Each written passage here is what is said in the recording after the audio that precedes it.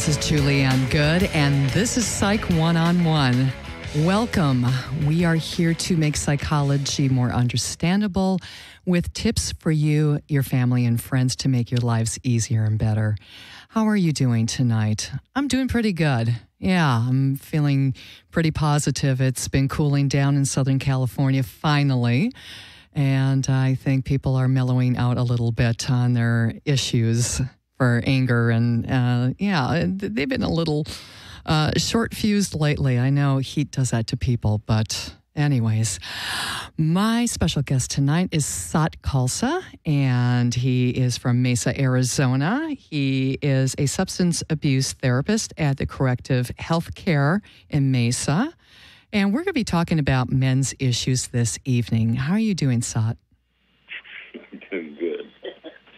Wonderful. Can you hear me okay, Julie? I can hear you. Can you hear me? Excellent. what a miracle. Yes, wonderful. Okay, yeah. Now, Sat and I have known each other for over 20 years now, right? Oh, man, a long time. I know. I know. It's I been know. Good friendship. We have a, a lovely group of friends over in the Phoenix area, and uh, we get to get together every once in a while. So it's nice to have you on the airwaves tonight. How are you doing?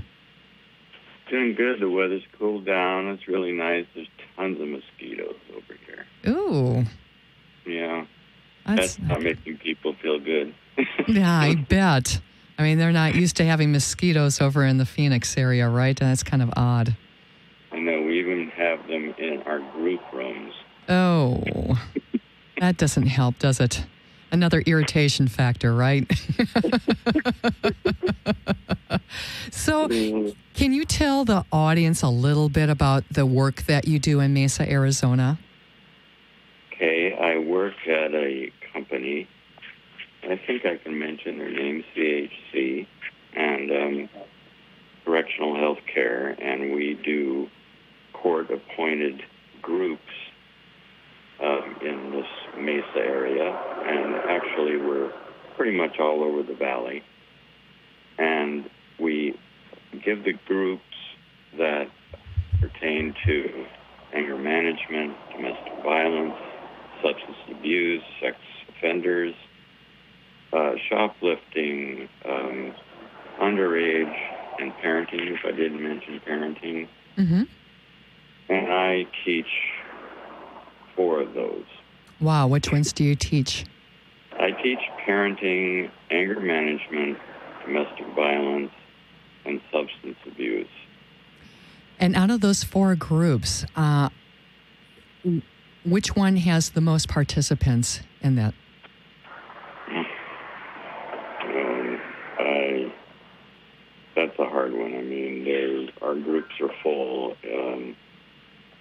There's a lot of stress in the world today, and people let that out in in ways that get them into these groups.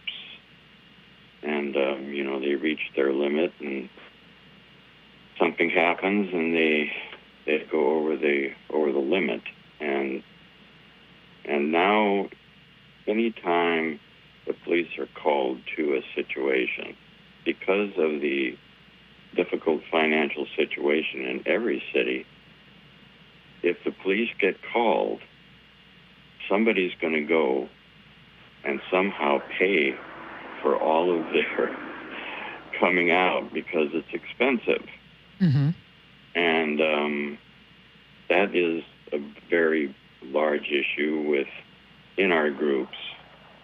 Um, certainly, one of the commonly given reasons for their current upsetness that they didn't think that it was necessary. And um, but if they come out on a domestic violence charge, one of the two are going to go, and usually it's the one that has any marks, the one that might have any kind of substance involved. Um, So, how do they make that determination? Do you know? Rough. I mean, the police have a very tough call, and um, and then they have to, you know, if there is a court, they have to go there and defend their choice. So but you know they have certain criteria that they go by, and the men want to say it's always the man, and the women's group say, "Why are they picking me?" Mm-hmm. So it's um, depends on the circumstances. It always depends on the circumstances. Exactly. Yeah. I, children present, um, alcohol present. That's very, I I would say probably in about forty-five to fifty percent of the people that do come in there for substance abuse, I mean for um, anger management, domestic violence, that that alcohol is involved that is the the one thing that I can say to people, you know, if you're going to go out and have a good time, make sure that you know what you're doing. Yeah, know your limits and, and stop where, yeah, exactly, walk away. Or if, if there's, you know, an, an issue that fuels up, then learn to walk away from it versus engaging in that fighting, especially when there's alcohol and, and or drugs involved.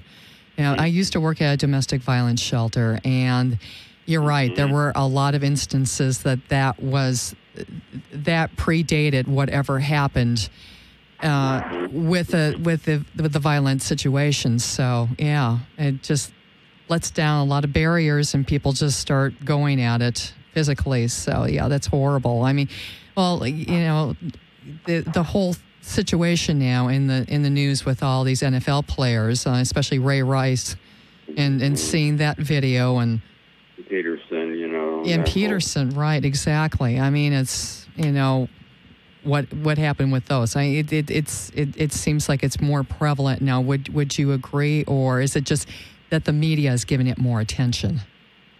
Oh, I think that there's been, you know, we even had a, a very you know, famous, you know, coach come forward and saying that he's known of issue after issue after issue of domestic violence among the players and their, you know, wives, spouses, girlfriends, and things. And but that they just went, they were put under the table, and so yeah, that's going to come out. And certainly in in my groups, they were. We talked about it a lot in the parenting group um, you know, I was able to get because those pictures are available and show, and they say, and everybody is ooh ah ooh ah. We would never do that. Would never do that. But they sit there and talk about how that happened to them mm-hmm. when they were growing up. So what we're doing, we're all on. You know, we're on a precipice here, and you know, we're in the midst of incredible changes, and they're happening so fast and rapid that we can't even keep up with, you know, administering truly healthy ed- alternatives and and healthy things for people you know before they get into these kinds of situations it it goes back to our educational system right and we've always been lacking when it comes to emotions and behavior and psychology and counseling. I mean, counselors have only been in the school in the elementary schools for the last, you know, 15 years. Mm-hmm. And so there has to be a starting point for this where it's like addressed in a very serious manner because right now everybody's constantly aware that this is a business. People are making money off of it. They're sending their kids to school and college. And they're, you know, I'm one of them. I work in the business where people are coming in there in these like horrifying situations. And it's not good for our community. It's not good for our general financial situation because it's pulling people into into the system, and once you've got a finger in that system, Julianne, it's not a pretty it's not a pretty sight. I would imagine, and I would imagine also that there are. Um, several of the men that you've worked with who have been repeat offenders. And uh, I mean, what do you do with that when when they're cycling through the system? Well, everybody thinks about repeat offenders in the area of domestic violence and things like that, and they shudder. But most of the repeat offenders come through our substance abuse situations. You know, repeated DUIs. You know, that is a, that is a a, um, a poison out here in our mm-hmm. in our community that um, where tremendous amounts of education needs to be done for people, and you know at a very very early age, and hopefully it's it's gonna you know people. I mean, historically, things really don't start happening until lots and lots of people start dying. And the, yeah, that's a sad truth. I know until until something starts kicking up into that system because otherwise mm-hmm. it's just like, well, okay, it's business as usual, right? Mm-hmm. Now look, oh, here's this this big massive guy and is this slender girl and he cocks her on the jaw and she's down and out. He had to drag her out of that thing out of that elevator. Right. And, that that that made me shudder. All kinds of hoop and rah about domestic violence and blah blah blah. Um, hello, it's been here for a long time. Mm-hmm. And now we have to really start educating. Now, now people who are up are up in the, you know, making how many million is that guy making? You know, this year. Right. You know, maybe twelve million dollars this year and he's hitting a girl in the and he's throwing that away and it's gone now. Right. Which it should be. But you know they should have seen they should have seen the the signs before that. And you know I, again it's you know all this media exposure to to all of these problems now people can't hide like they used to. I'm sure this has been going on in the nfl for decades and they've just turned a blind eye to it. And finally, things are coming to light, which they should, because you know there's there's kids that look up to these football players like they're heroes, and they want to be grow up and be like them. Well, no, you really don't want to be like that, and uh, you know, a, a, a you know, violence offender and and doing all these things on the side that you're getting uh, getting away with breaking the law, you know, committing these heinous acts. I guess the message that you and I are trying to get across to people is like, if there is any kind of potential in a relationship and a new friend and in, you know, uh, in a family member that suddenly has a change of, of personality or anything, if there's anything that comes across to you that is endangering your family and your peace of mind, you need to get help immediately. Mm-hmm. Don't wait. Yeah, because in, in cases like that, it it doesn't get better if you don't do something about it. Action yeah. needs to be taken against, you know, somebody yeah. that's that's losing their temper. We have cell phones now, man. Everybody's out of the closet. yeah, exactly. Yeah, that's a good point. Well, Sat, I right, Sat, I'm gonna, I we're gonna come back after this commercial break. Okay. Okay. The Chicago School of Professional Psychology offers numerous psychology, behavioral, and health related science graduate degrees at three campuses Los Angeles, California, including branches in Westwood and Irvine, Chicago, Illinois, and Washington, D.C., and online. The Chicago School prepares students to meet the ever changing mental health needs of society through classroom experience and real world training. The Chicago School Counseling Centers in Irvine and Westwood provide caring, confidential, and affordable psychological services to individuals and their families. For more information, visit thechicagoschool.edu. And thank you to the Chicago School of Professional Psychology for sponsoring Psych One on One. And if you would like to join us in this conversation, our number is 800 893 9562. Again, that's 800 893 9562.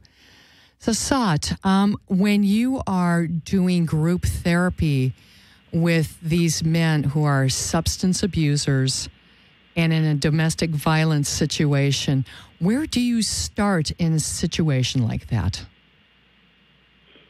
Hmm. Well, they come in there pretty angry usually. Um, if not angry, just really upset and traumatized by by the situation and um, I let them introduce themselves, tell why they're in there, and let everybody in the group respond and ask questions. And it's just it's an open forum. It's completely closed, and what's what's said in there stays in there. Um, and what do I say? You know, welcome and sorry it all happened and if they if they come out I have, you know, really strict rules in there. There's no, there's in no way any defaming or uh, making excuses or what happened. You, you can describe what happened, but I don't allow excuses. And um, because there's no there's no growth until you see that in some way you helped create the situation and at least take responsibility for all that you participated in. Mm-hmm. Going from there, okay, let's get going. So, first of all, is getting them to how much do they self disclose up front? I mean, is everybody like um, they have to share at least a little bit, or are they allowed to keep silent if they want to? I let them pass. You know, we start off with, you know, how was your week? What are your highs and lows?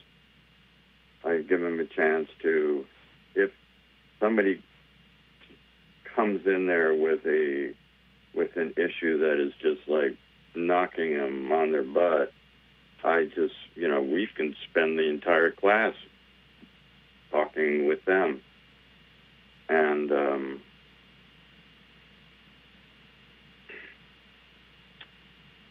so, how many sessions do you have on average with a man that's coming through the system, or d- does it make a, d- a difference whether they're like uh, domestic violence or substance abusers? Is there uh, different lengths of programs?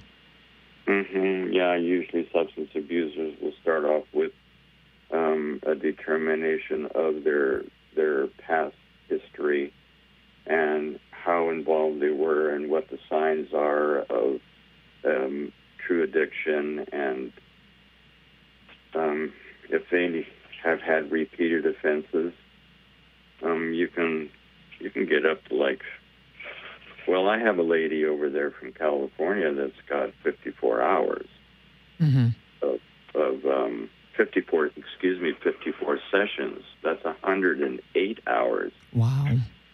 Yeah. And um,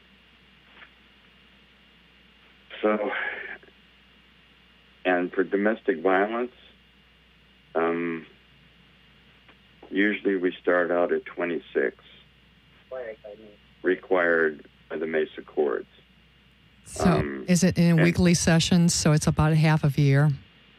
Mm-hmm, and it's yeah, and that's you know, and then if it's a repeat, or if there were children in the in the area that were um, privy to what went on, they'll normally get 36 hours mm-hmm. right away, mm-hmm. and possibly parenting classes, which they should. Mm-hmm. Yeah, because, you know, doing any domestic violence in front of children, you know, they don't realize that, and, they probably don't realize because it's, again, it's that intergenerational cycle of maybe the offender saw that when they were growing up, that appeared normal, and then they repeated it in their own households as adults, turn around and they start doing the same thing that was done to them when they were children. Yeah, it's what we do, right? Yeah, yeah. Is that Have you is ever that made a mistake in your life? Oh, yeah, of course. Everybody's made mistakes. But the key is Oh, learning I'm- from your yeah. mistakes, right? Right. Exactly, and that's and and the true test of being um, a responsible adult is taking responsibility for everything hmm in your life, not some, all. So, what percentage of the men that you work with get to that point, would you estimate? Where they walk out of their room, out of the room on the last day, and they're good. and they go out and behave? Um, you know, we do have repeat offenders.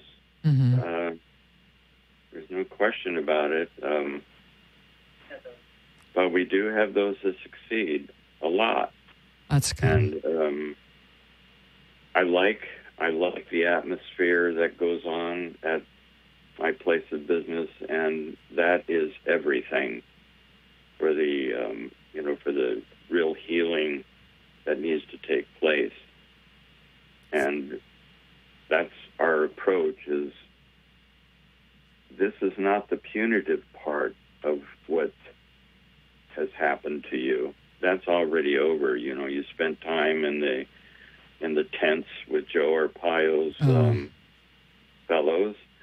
Yes, Who- yes. They still have Tent City out there with, with Sheriff Joe, huh? Yeah. Notorious out in the, the Arizona area. Eh, he's, he's been on national news. Uh, he's, he's, yeah, he's something else. How long has he been in office now? Long time. Yeah. He's an, an interesting character, yes. I challenge I challenge them to um, look at what's happening as you know a learning experience and take advantage of it. Um, you're not paying. I mean, they're paying. If they were paying to go into a real counseling group um, on their own privately, I mean, they'd be paying about $120 a session, hmm and here they're paying 20. Yeah, that's a good deal. And um, yeah, something bad happened, take a look at it now and see how you can grow from this situation. So, what makes the difference between a man that starts taking responsibility for his actions and, maybe the light bulb goes off over his head and he goes, I need to make a change. This isn't working anymore, and I'm hurting myself and I'm hurting the people that I love, versus the person that walks out of there and just like, okay, you know, whatever, whatever, and I'm going to go out and do whatever the hell I want to do when I get out of here, and is the repeat offender. What's the difference between those two clients? well, one, it warms my heart, and I feel absolutely ecstatic, and it's a real high, uh, almost a religious experience. And the other, job security, because I know he's coming back. Yeah, sadly You know, enough. And that's, sadly, that's just the way it is. And um, you do what you can, and you try to take as little home with you as possible. And so that um, I'm able to go in next time with a objectivity and, and care and loving in my heart. And that's otherwise, why do it? Right. Exactly. You have to go in with a, almost like a clean slate every morning when you go into work as a therapist, correct? Absolutely. Yeah, that's challenging. that's, that's that's a good one, you know. And on a good day, it happens. yes. Yes. So, what is your most challenging type of client to work with?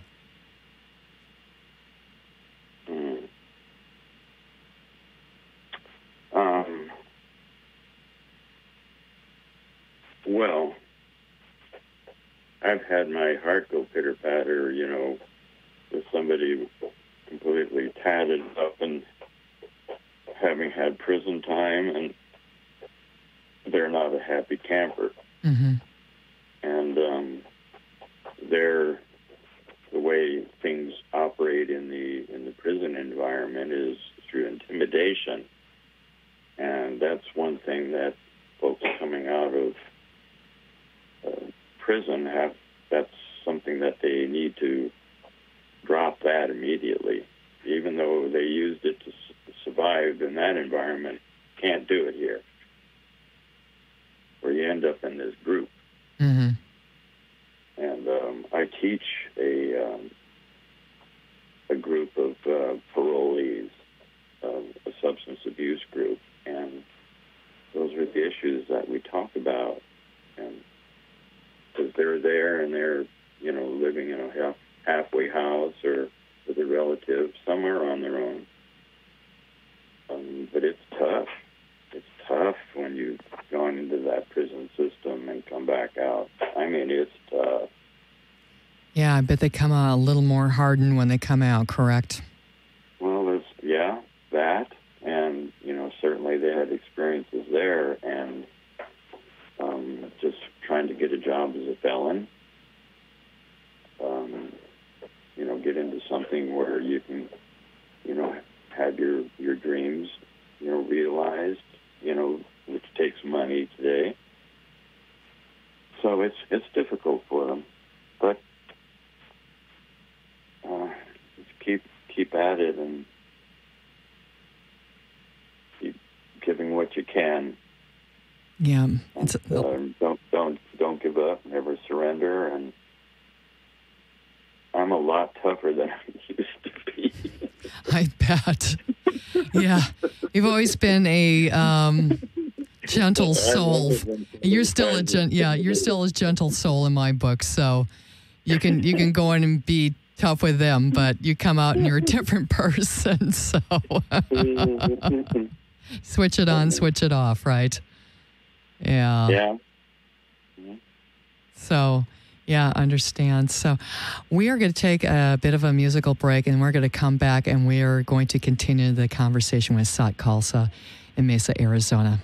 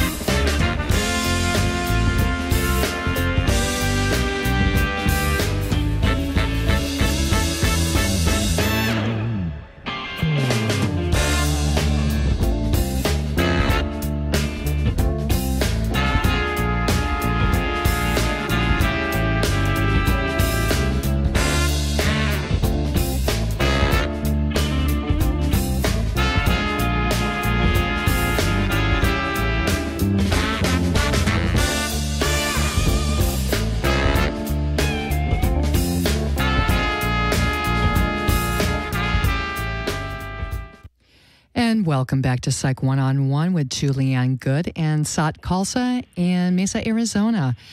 We are talking about men's issues and group therapy and the work that SAT does in Mesa. And Sat, I would like to ask you about uh, incorporating some of your spiritual background into the groups that you work with. Right. Um, well, um, I divulge something about myself, my past. I don't, you know, hesitate.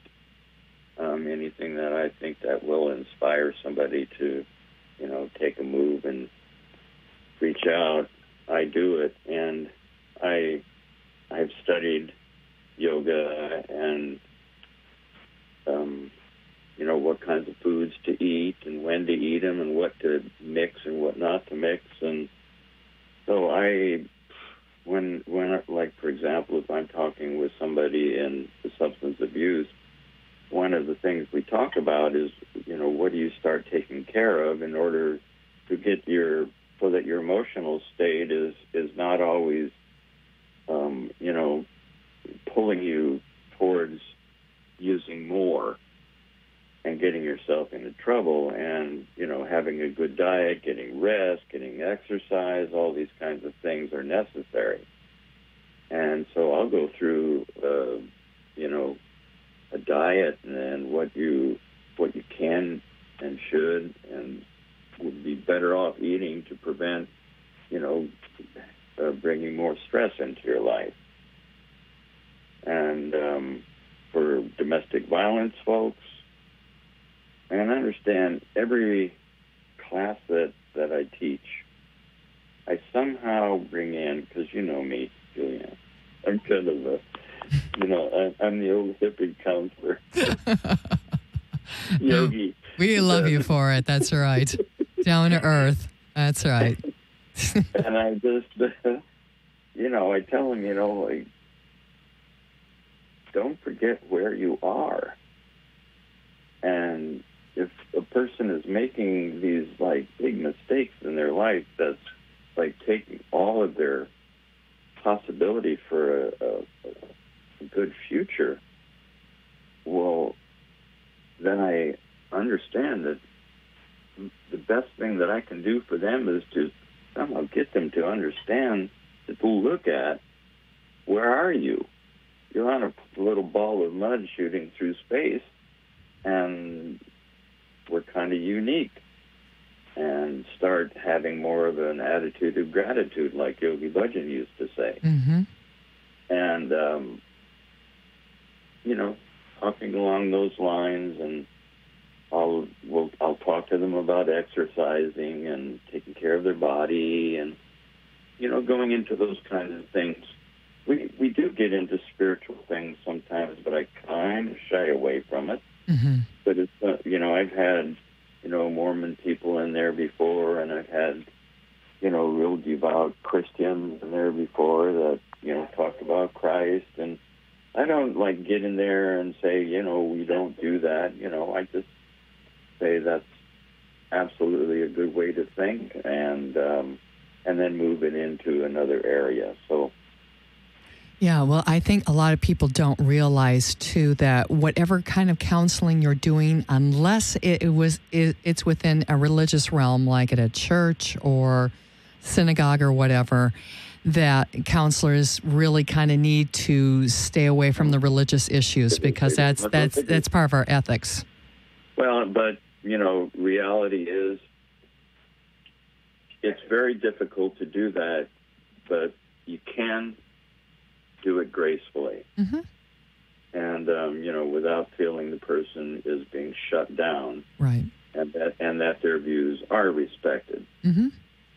Um, yeah, we just can't influence them one way or the other. I think it's the exactly. the the situation is like if if you have a spiritual or religious practice and it is helping you become a better person, it's helping you to keep grounded and centered, then by all means practice that.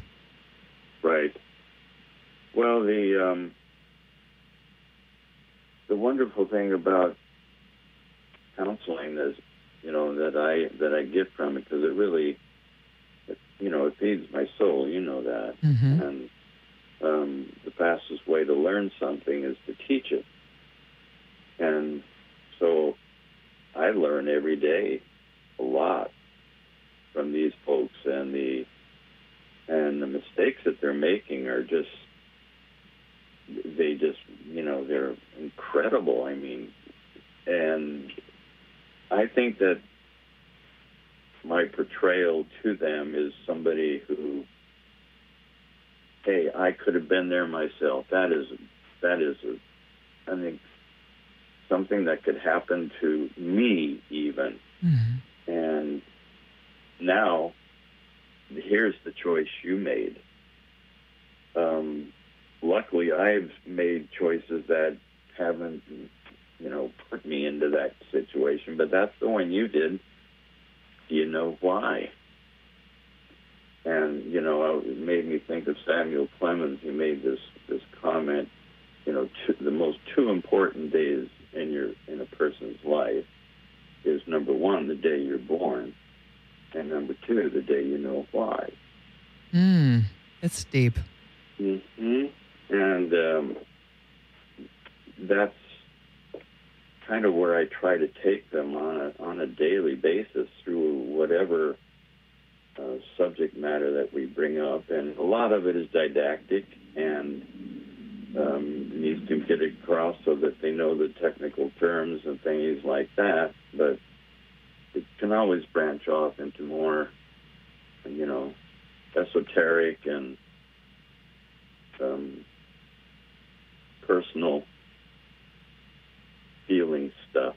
hmm And it, it sounds to me like you're trying to bring them to the point of learning meaning and purpose within life, to see beyond the choices that they've made and make better, healthier choices down the road instead of keeping repeating the cycle and, you know, having to see you for another 26 weeks up the road somewhere, right?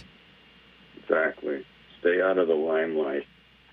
Yeah. It's time to put on their bathroom mirror. Stay out of the limelight. And you know, I mean, I mean, realistically, we there's not one of us that hasn't had situations in our life that have left scars. Mm-hmm. and any one of us and and when we made the most silly mistakes in our life you know it isn't like we got up that morning and said hey i'm going to screw up my life today Right. Hopefully Um, not. they're they're, they're unplanned and they're just like and um i respect that human characteristic in every one of us.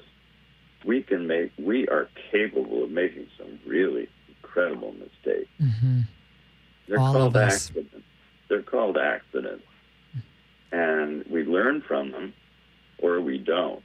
Hmm and the only way to really learn from it is to take full responsibility, or at least your part, Yeah. and be real about it. And don't run from it. And because if you try to run from it, you're going to run right into another one of my groups. Take your pick. Which one would you like to do, right? Hey, we're I living on a ball. You can't go any place but back to where you started. Exactly. I know. And we want to go back to a place that is full of wisdom, understanding, and acceptance of your stuff. Hmm And enlightenment. You Yeah. know, coming to the point where it's like, okay, well, I'm, I made mistakes. It's behind me. I learned from them. I, you know, I, I went and made my apologies to people. I reprimanded the situation, and now I get to have a fresh start. It's never too late to have a fresh start in life. Period. Never, Never. n- never too old. That that's my biggest motto right now. Is you are never too old to change your life. Thanks on the newspaper here, oh, I guess about a year ago, two 91 year old Native American ladies out here on one of our reservations that got their doctorate. Ah, I love it. and philosophy, right? Wow, that's so cool. Uh, the sages. You know, we're, we're all in this in this muddly mess that is going on today together. Nobody's going anywhere unless you go somewhere, mm-hmm. and we're all going somewhere eventually. Yes, hopefully forward. um, just that whole concept of, of passing it forward is that what it's called? Mm. Um, you know, where you do something for somebody, paying it forward, yeah. Start seeing seeing you know, human nature and the creation is something divine instead of something to manipulate and and get it get what you can out of it. Mm-hmm. And that whole thought process is just got us into turmoil on this little ball of mud. Yes, it has. And it's caused chaos. And I just I praise what you're doing. I think it is so cool. Thank you. You too. You're doing some great work out there. I know. It's hard mm. stuff. Yes. yes. So we're going to take our last commercial break and we will come back with Sat Khalsa.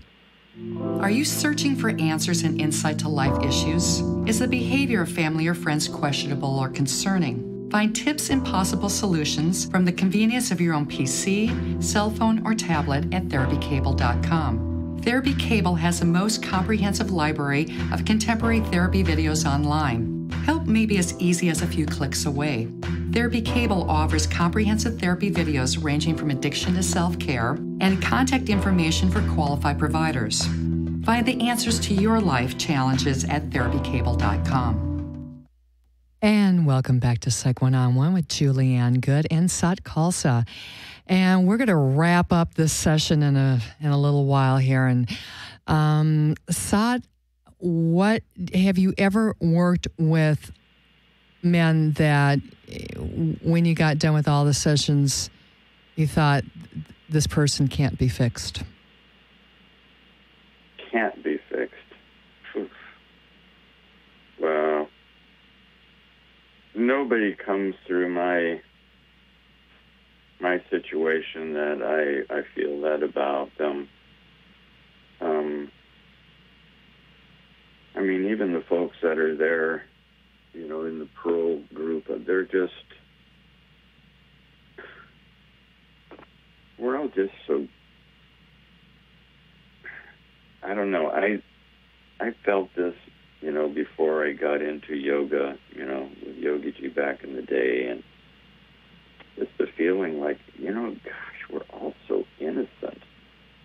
You know, we're we're we're so new in this whole situation, and we're just trying to muddle our way through it. And uh, for some reason, that that ridiculous thought has carried me through to this day, and I just continue having faith in all of us and and whatever you know the creative forces you know, doing. And, you know, it's the only game in town, for God's sake. Mm-hmm. so I don't plan to get, you know, like throwing the towel on it yet. Um, we're still, you know, we all got to keep trucking and making the best of it. Otherwise, the alternative is sucks. Mm-hmm. You know, don't give up, never surrender. You know, Galaxy Quest, best movie out there. So you keep them pretty hopeful and on track and trying to see the big picture of life. Yep. Yeah. Never give up, never surrender. Yeah. That's fantastic. That's got to be hard because I would imagine some of the men are pretty, you know, hardened. And he said that, you know, a lot of them come in with, you know, probably a lifetime of excuses of why they haven't done this and why they behave like that and you know just uh, just even trying to drop the excuses or look at them for for what they have served the purpose that they've served um, i just kind of see them as some very unruly yoga students you get some mats out for them. Make them do uh, breath of fire. well, I, at least I do it. Yeah. Before groups, and I do. I get up every morning. I do my stuff, you know, still, and yoga keeps me keeps me balanced and going, and I and I eat good and tennis, you know, weekly, and just um, get out and love life. Mhm. What I, I hear the other day, if you aren't having fun, you're doing something really wrong. exactly. You got to have some fun. You got to see some humor here and there, right? Can't take life too seriously. hmm Yeah. It exercises the muscles of the face better than anything.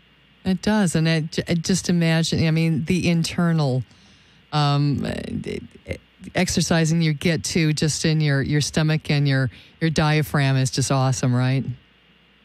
You know, I got people in my group that that have a have an issue with my my my age because I feel like I'm 74 and I'm still riding a motorcycle and playing tennis and blah blah blah, and they're just you know kind of in awe of that whole situation. And I let them know, like, look, the only way you're going to stay young in your soul is to get rid of your resentments. Hmm figure them out, work them out, do what you can. Don't take your final breath being pissed off. Right. It's just, you know, don't know what's going to happen. Very few of us have any idea as to what's going to happen, you know, later. There's a lot of faith. But in reality, I can't remember. Can you? No. There you go. I know. Yeah, and you're right. You you've got to you've got to drop the uh, need for vengefulness and regrets and all that heavy baggage that one can carry a, a- around with them. You know, forever. forever. Oh, so many of my clients have relatives, brothers, sisters, fathers, mothers. They haven't talked to them for years. Uh, it's just, it freaks me out. But that's the way it is these days. Yeah. Is it because of uh, the criminal activity and the addiction, and is that usually what the case is? can be that, can be that, can be just, you know, circumstances of, of parenthood and broken families. I mean, how many broken families there are? You know, how many people are. I mean, the people that are coming into my des- domestic violence group, most of them are separating from the person that they were living with Mm-hmm. be it a wife or a girlfriend, because that is because it's a, it's a number one, it's a felony Right. domestic violence on your record, and that's no small thing. Mm-hmm. And the money that it's taken, you know, through the whole thing. So that is an unfortunate ramification of, uh, or a result of that experience for these people very often. Yeah. Yeah. And there's so a- many. It's a sad sickness in our society, and we've got to see it like that. Right. Well, hopefully, through the bad press of NFL, people are going to start getting educated about really what goes on with, with domestic violence cases. And if you know of anybody that is, that's the situation that they're living in, or you're one of those people, please go get help. There's a lot of help out there, and it, it happens quite frequently, and it, it's nothing to be ashamed of. It's something that you can get help for, period. Exactly. Boy, you're good. Yeah, well, actually, you know, because of working with uh, the domestic violence shelter for so long, I was, you know, that's Yeah. that's one of that's one of my um, advocacies is is talking to people about DV situations because it, it is common and it's we're still living in a society where, you know, if we'll just you know be quiet about we won't report it we won't get involved we were afraid if we get involved something horrible is going to happen but most of the time it's like if you don't get involved somehow then something worse is probably going to happen so, or it's a possibility So, you know, it I. always get worse. Yeah. It will always get worse. Yeah. Unless something intervenes and, and comes in and changes that system. And it can be changed, but it is work. As you know, you have to work with the offenders. I've worked with the victims and the children. And that's a whole different world. A lot lot of attachment problems and a lot of emotional problems that that on both sides. You know, it, it's it's really a tough issue, but it can, it, it is workable. There's a lot of world problems going on right now, Julianne, and I think that if we just like start with, you know, take baby steps as we start, you know, opening ourselves up to resolving our resentments and issues and start with the people around us, start hugging and loving and telling the people around you that you love them. Yes, that's important. And uh, it's and it only takes one in a family to start that going. Yeah. Um, it's such an easy thing to do, and so so good and so healthy. Mm-hmm. Speaking beautiful words is easier than one would think, but just start doing it. Yes. Yeah. Yeah, exactly. So, is there anything else you would like to add to our conversation as we're wrapping up? Mm. I'm so grateful for you doing this, and I think your listeners are very, very blessed to have you. And um, Thank you. Thank you for having me. And I thank you. Thank you, Sat. And, uh, and your clients are very fortunate to have you too. You're a wonderful person and just such a good friend. So, I really appreciate Thank you, and come in for David's birthday. Okay, I will. Go swimming when it's not frying out in Phoenix. That's lovely. I like that. Yeah. okay, thank you so much, Sat Khalsa, for being on my show. All right, take care. Bye bye. And if you would like to contact me, my email address is jgoode8 at verizon.net. My business number is 562 234 4650. And my office is down in Irvine, California.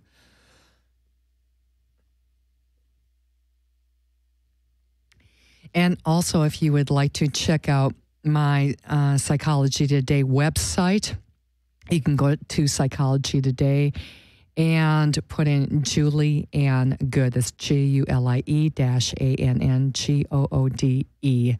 And I would love to hear from you. Please contact me if I can help you with anything. I'm here to help. So I would like to thank my board operator, Andy Jackson. Thank you so much for helping out tonight. And our executive producer, Jeremy Hansen. You rock. Thank you so much for being here. And I am on every Monday evening from 7 to 8 p.m. Pacific Standard Time.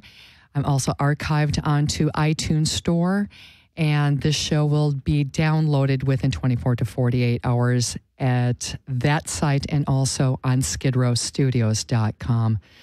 So keep joining us. The Qumran Report is on next. And thank you so much for listening. Take care of yourself. Take care of each other now. Take care. Bye.